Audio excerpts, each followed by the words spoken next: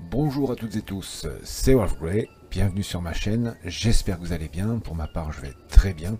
Alors aujourd'hui bien sûr dans cette nouvelle vidéo je vais vous parler d'un boîtier de chez Corsair qui est le Crystal 280X, il est noir, d'ailleurs vous allez voir la photo, il s'apparaît ici.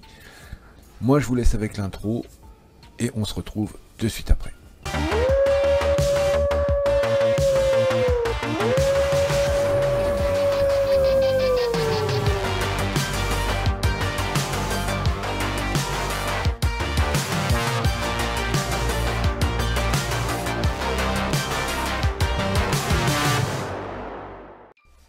Ce boîtier, bien sûr, c'est la marque Corsair. Son numéro de nomenclature, c'est le Crystal 280X. Ensuite, vous l'avez en deux versions, c'est-à-dire en blanc ou en noir. Moi, je l'ai reçu en noir hein, d'un futur partenaire. Ensuite, euh, les matériaux, bien sûr, c'est du verre trempé. Vous avez trois vitres en verre trempé, c'est-à-dire sur le côté, au-dessus et en façade. Ensuite, le reste du matériau, c'est de l'acier allié. C'est-à-dire que tout ce qui est métal, c'est de l'acier allié et un peu de plastique, je pense. Ils ont oublié de le, mentionner. Alors après, euh, toutes les méthodes de refroidissement, bien sûr, c'est par air. Vous avez euh, des ventilateurs, mais bien sûr, vous pourrez mettre que des ventilateurs en 120. Les compatibilités de carte mère, c'est micro ATX et ATX. Euh, son montage des fixations d'alimentation, c'est montage par l'avant, c'est-à-dire côté vitre. Il n'y a pas d'autre façon de le faire. Son poids, alors il est de 7 kg 100, mais c'était pas très léger pour un boîtier. Déjà rien que le boîtier fait déjà 7 kg 100, c'est déjà beaucoup. Ses dimensions sont de 39,8 par 27,6 par 35,1. Voilà, déjà vous avez toutes les caractéristiques de ce boîtier. Maintenant, on va passer à une autre étape. Je vais vous montrer le boîtier, je vais démonter les vitres, je vais tout démonter et vous montrer tous les emplacements que vous aurez sur ce boîtier. Ce boîtier est très intéressant pour ceux qui n'ont pas beaucoup de place, mais vous allez voir, je vais vous le montrer tout de suite. Bien sûr, comme je vous ai dit tout à l'heure, bien sûr, vous pouvez voir, hein, il est carrément vitré. Ici, vous avez une vitre ici, une vitre sur le côté et bien sûr une vitre sur le devant. Hein, c'est du verre trempé. Vous pouvez voir, hein, c'est du verre trempé. Alors je vais vous démonter tout ça et vous allez voir l'intérieur. Bien sûr, hein, à l'intérieur, vous aurez bah, ce fascicule, ce petit fascicule de chez Corsair, avec une petite clé Allen, une, une clé 6 pans si vous préférez, voilà ce petit fascicule hein, qui vous explique ce qu'il y a dans le boîtier. Alors ensuite vous avez tout le câble, tout le câblage ici hein, pour le branchement sur la carte mère. Vous avez tous ces branchements ici. Vous avez ici le premier fan en façade qui est euh, non RGB.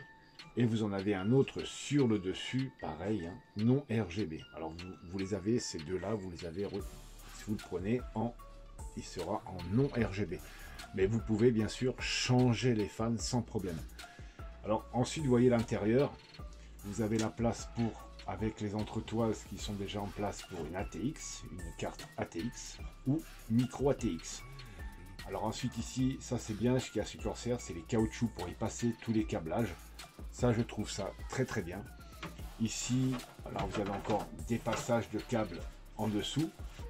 Ici, vous pouvez y mettre encore des, fans.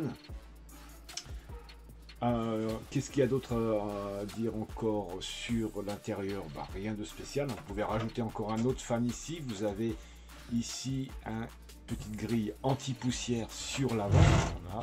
Là, ici, vous avez une grille anti-poussière, mais pour l'enlever, il faut enlever la vitre en façade.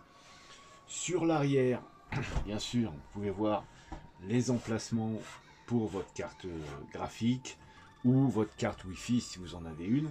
Ici, vous avez juste à démonter ici pour y placer vos deux disques durs vous pouvez passer deux disques durs en 3.5. Bon, ceci dans cette boîte là, ce n'est que du câblage, pas du câblage, des vis pour le montage avec des riselants bien sûr. Voilà, vous avez toutes les vis avec les riselants et des entretoises de rechange si vous devez les changer ou si vous les avez perdus. Ici, vous avez encore des vis à laine, des vis 6 pans. Voilà. Là, vous avez d'autres petites vis. Là, vous avez les vis pour fixer euh, vos fans. Vous avez des petits riselants, des tout petits riselants. Ça, c'est bien pour faire le câble management. Ensuite, vous pouvez encore en mettre un deuxième disque dur ici. Ensuite, sur l'intérieur, vous pouvez encore rajouter trois disques durs 3.5. Ça vous fait déjà 5 euh, disques durs à mettre, 2 hein. en 3.5 et 3 en 2.5. Et pareil, hein, derrière, vous voyez, vous avez quand même de la place. Ici, vous y placerez votre alimentation. Moi, je penserais plutôt que c'est euh, un boîtier en micro ATX, pas en ATX. Parce que euh, ATX, vous avez quand même pas mal de câbles à passer, mais ça, ce n'est pas trop trop grave encore à la rigueur. Alors ensuite, pour vous parler de la face avant, comme vous pouvez voir, à la face avant, euh, vous avez quand même, euh, comme vous pouvez voir ici, vous avez le fan, bien sûr, là vous le voyez, hein, le, fan à travers la vitre. Ici, vous avez bien l'emplacement hein, pour y mettre tout votre câble management, ça c'est bien parce que là, je trouve que là, vous pouvez euh, ranger tous vos câbles à l'intérieur.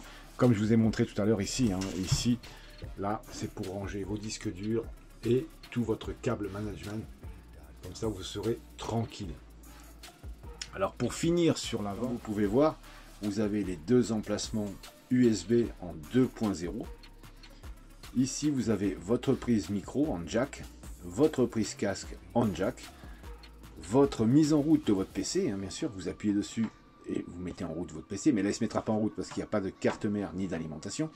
Et ici vous avez le reset pour euh, si vous avez, euh, je pense, vous voulez relancer votre PC. Alors bien sûr, j'ai oublié de vous dire tout à l'heure, bien sûr sur la fermeture du, PC, hein, sur le côté opposé de la vitre, vous avez encore ici un petit magnétique, hein, un petit filtre magnétique que vous pouvez rajouter. Vous voyez, vous pouvez encore rajouter un fan encore ici pour le refroidissement intérieur.